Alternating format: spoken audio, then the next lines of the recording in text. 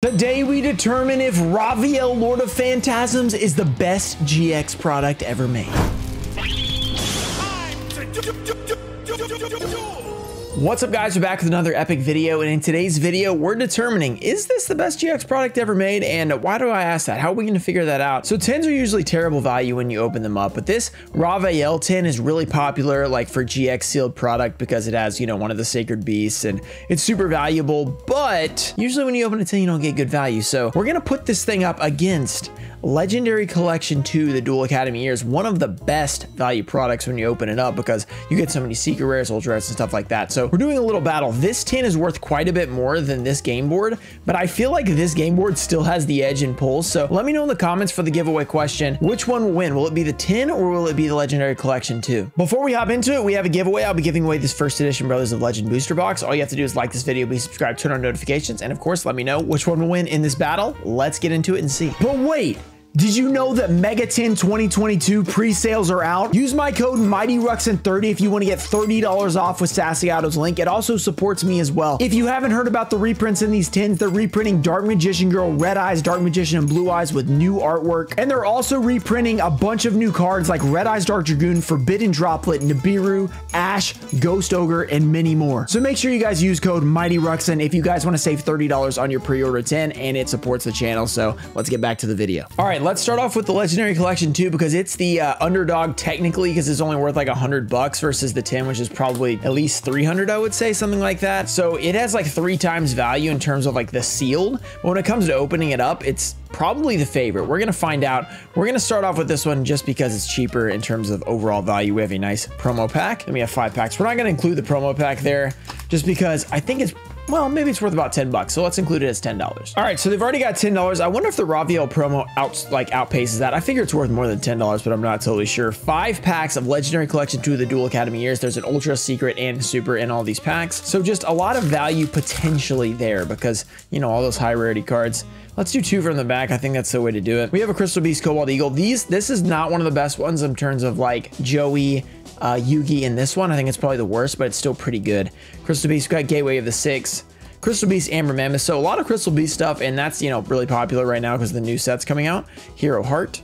Elemental Hero Aqua Neo. So this does have value. All these Elemental Heroes in like hollow version out of this set are worth like at least a couple dollars, so not bad. And a Dimensional Fissure, Secret Rare. I think that's actually worth something for old formats and an Elemental Hero Chaos Neo. So not a bad start, some pretty good pulls. And then we've got a Dunker. He's playing some basketball right there. You'd love to see that. All right, next pack. So a good start. So $10 for the promo pack and then definitely probably like $10 out of those if I just had to guess off the top of my head. Already looking rough for the Raviel 10. Let's see what else we can get. We got Burstinatrix. There's the alternate art secret rare in here as well. That'd be like at, at least a $10 card.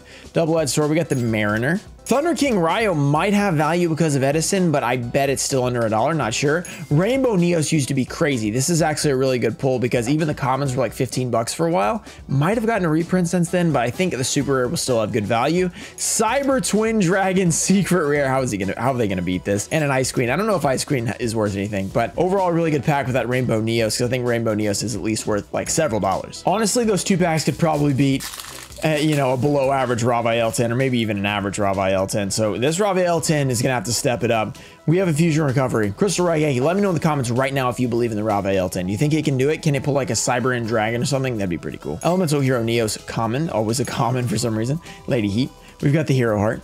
Destiny Hero Diamond, dude. I don't know if this guy's worth anything or not. Great Shogun Shien. I know this one is worth like at least a couple bucks. That's not bad and then a Flute of Summoning Kuriboh. I love this card. I don't know if it's very good, but Crystal Promise there. This one's pretty cool because you can like uh, bring out Wing Kuriboh from your deck and then they can't like damage you. I used to do that in Duel Links all the time. Two packs to go. Let's see what else we can get from Legendary Collection 2. Can we beat the Raviel tin? Wow, this is difficult to get out of the pack. There we go.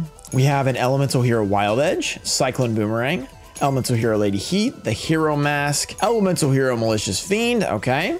Gladiator Beast Darius, I actually had one of these I listed the other day. It's like $8, so that's big value there, secret rare. And then a Macrocosmos, another card that's worth a few dollars as well. Infernal Prodigy probably was worth something, and then it got the reprint recently out of Legendary Duel Season 3. Probably not worth anything anymore. And then Dark City. So pretty cool, really good pack.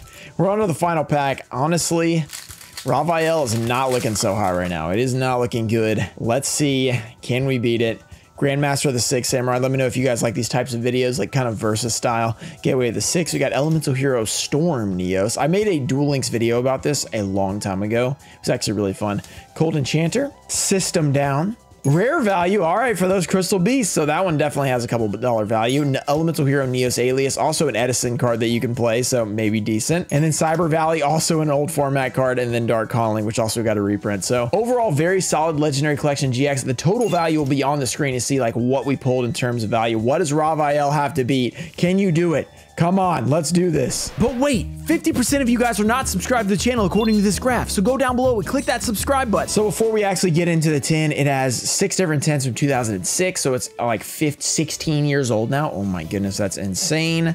That GX is actually that old. The packs we're gonna get inside, two Cybernetic Revolution, one Elemental Energy, Shadow Infinity, and Enemy of Justice. Those should all be unlimited, I think. Uh, well, I guess we'll see. So this is the first launch. It was with Elemental Hero Neo, Cyber Dragon, Raviel. Second launch of 2006, they did Shining Flare Wingman, Hamon, and Uriah. So I guess they think Raviel is the most important one. That's what it seems like because it started off, had a little rip in it, so we don't even have to cut it open. We just go like this. We just destroyed a lot of value right there, opening that up. All right, uh, okay, it doesn't want to open. Very nice. I think the only other time I've opened one of these was when we opened every 2006 tin in one video. So go check that video out if you didn't see it. That was a pretty awesome video. We've done that for all the tins from 2002 to 2007, open all of them in a single video per year. Maybe one day we'll do 2008, but those are pretty expensive, so we might have to figure that out.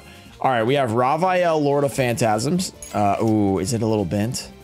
Might be a little bent. Oh, it's got crap on it. Oh, no. So I, let's just, okay, maybe it's not bent. Okay, let's just call this LP for the sake of the video. So light play, whatever that value is. I'm guessing not that crazy, but still a beautiful card. I don't know if it's worth more than the promo pack that's like 10 bucks. So we'll see, you know, what deficit we're in right now. All right, then we have our pocket guide that is unfortunately not worth anything. So let's see what else we got. We've got our five packs.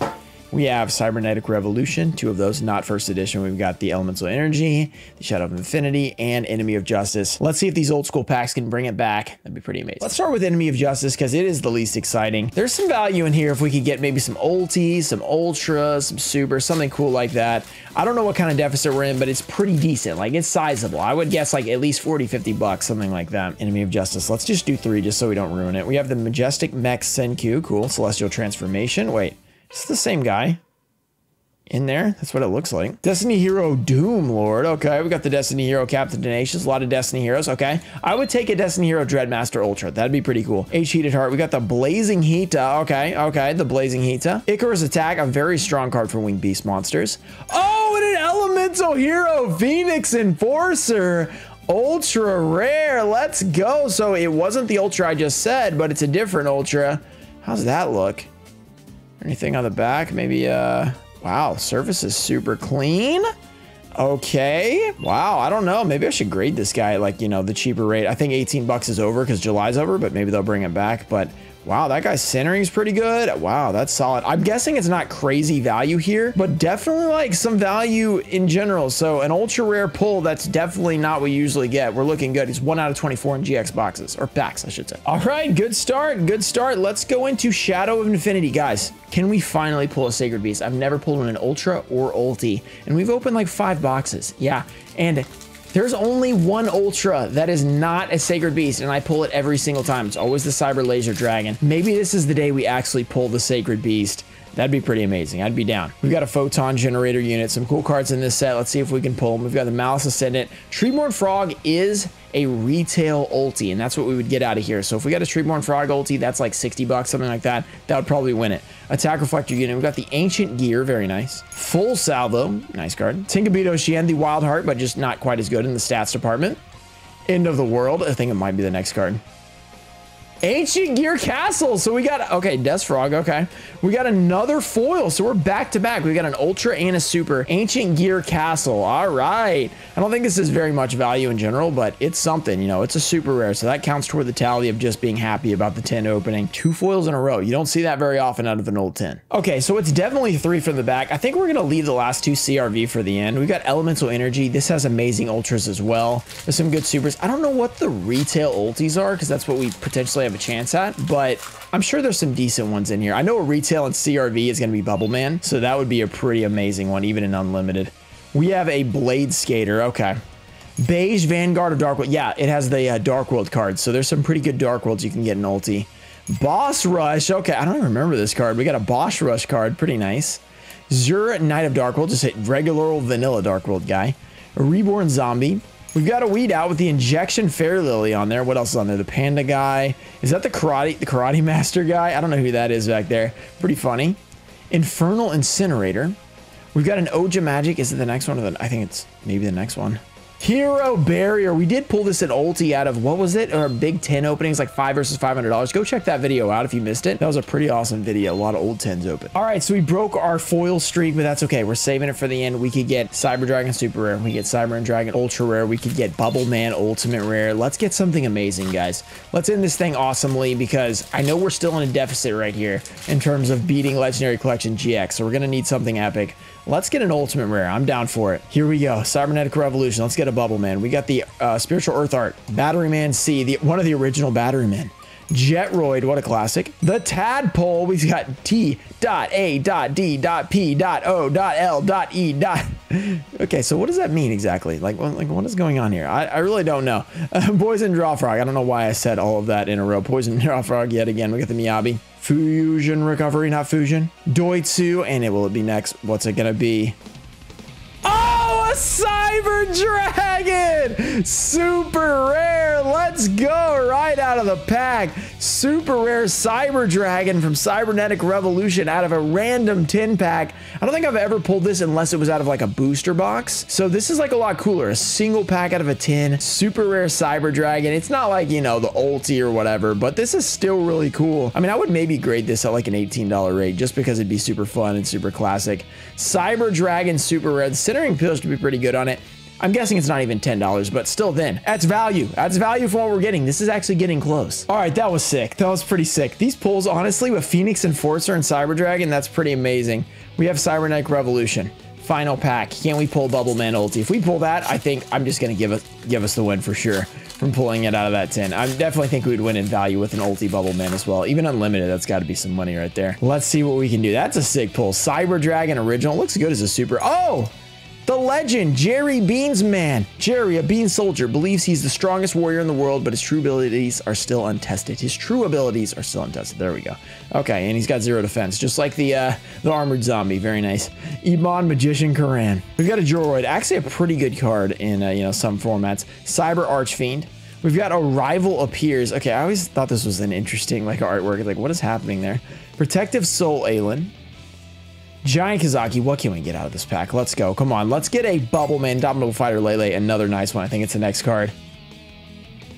Oh, back-to-back super cybernetic magician. Not the cyber you're looking for, but it is a super rare. That's four out of five foils. Oh my goodness. And even with this, can we, I mean, we might not have even won. So five total foils if you include the secret rare, one ultra, which is one out of 24 packs, and then three supers, one being Cyber Dragon. I'm pretty sure we still didn't beat the Legendary Collection GX. It's to be pretty close, I think. But we're to show the value up here about what actually happened. That's insane that you can pull four foils out of five and it's still not win. It's pretty nuts. If you guys enjoyed this video, make sure to subscribe to the channel for more epic content like this. Shout out to TCG Trust Cards, Tomfo Show, Tomato Juice, Daxter, JT Cho, Puffins of Doom, Ernesto Deanna, Squirtle, Flexi Boy, Dizzy, Stanley, Mike Nance, Mimic Gecko, Ian Musa, Junior Barding, John Nolan, and Untie Show, Thomas McLean, and Seth Fisher. Thank you guys for supporting the channel, and I'll see you guys next time. Peace.